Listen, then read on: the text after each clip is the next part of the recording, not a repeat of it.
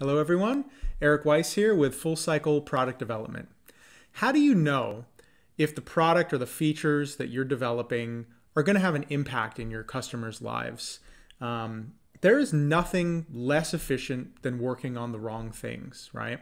Uh, and so I discovered a framework that I've used, you know, throughout my career, and I'm going to teach you today um, to have an intention for and to measure in the impact of the features and, and the product that you deliver. Um, and it's called the HEART framework. So if you know me, if you've been watching or listening to or reading any of my content, uh, you know I'm a big fan of a data driven product roadmap. I'm a big fan of the Pirate Metrics model in particular. Um, and the purpose of that model of Pirate Metrics is to uh, evaluate and prioritize your potential features based on the business drivers based on the bottom line, right? So acquisition, activation, retention, revenue, and referral. Okay. Um, and that's great from a strategic perspective. But then I always get asked the question how do you know whether the things that you implement are actually going to have uh, the impact that you desire? And so I was looking for a slightly different framework um, to measure it from a UX perspective. And I discovered uh, a framework developed by Google called the HEART framework. Okay. Um, and what this does is it allows you to, again, set an intention for and then create um, metrics and uh, sort of a way of evaluating different features um, based on their impact to the customer. So it's whereas Pirate Metrics is kind of a business centered uh, framework for evaluating features. Heart is very much a user centered framework. So um, I like to use that. There is definitely some overlap though, as you'll see. Okay, so the HEART framework stands for happiness, engagement, adoption, retention, and task success. So you do notice some over overlap there.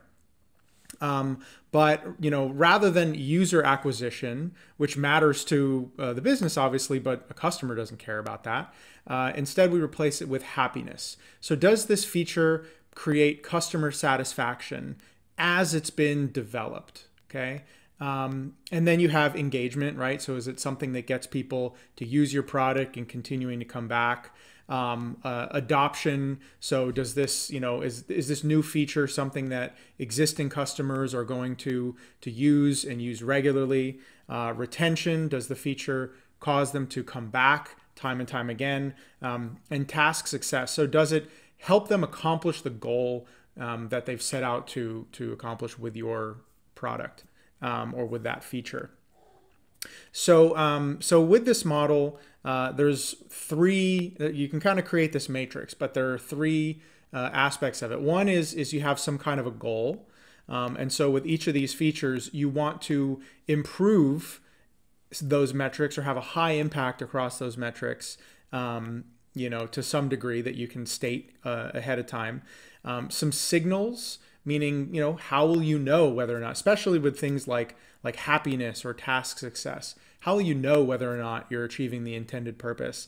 Um, and a lot of times it's going to require feedback. You're going to have to talk to people or survey people um, in order to get that. Something like engagement adoption and retention can be measured through you know through data and through analytics um, but happiness and task success you know really have to be measured qualitatively um, and then metrics. So again, you know, from a from a data perspective, you know, how are we going to calculate? How are we going to measure this thing? And so um, you take all of this together, and you can you can score it. Um, you can you know have kind of a weighted average or an overall score, and then this can be the thing that feeds back into your roadmap. Um, so as you're delivering features, you know, this is a way for you to determine whether or not um, you know the features that you're releasing are really making a difference from a from a user perspective. Um, and this is something too that you can bake into all of your customer feedback. So your uh, your NPS surveys and things like that. Um, you know, you can create questions. I you know you don't have to go so directly on the nose, um, but you can create questions around this in your NPS survey or in your customer satisfaction surveys um, to determine whether or not the product as a whole, uh, but then each individual feature or major features in your product um, you know, how they how they stack up along these dimensions. Okay.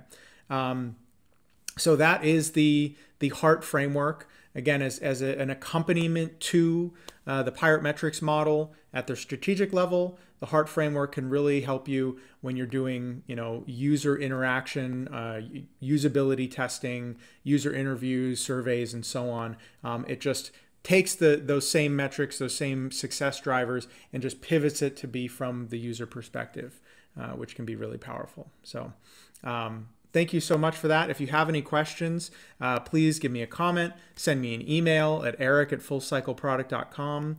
Um, as always, you know, please go to fullcycleproduct.com, uh, take a look at my book, my online course for startup founders, um, and if you need help with a, a data-driven product strategy, um, I am focusing all of my consulting efforts on this and uh, this is going to be you know my big thing for the rest of this year and then going on into next year.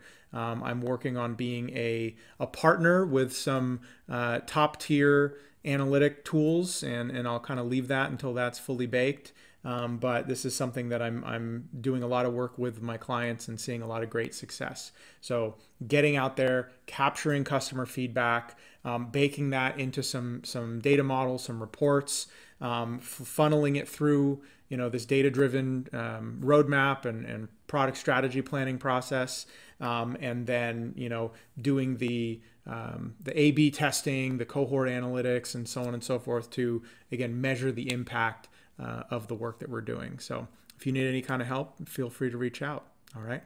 Thank you so much. Have a great day.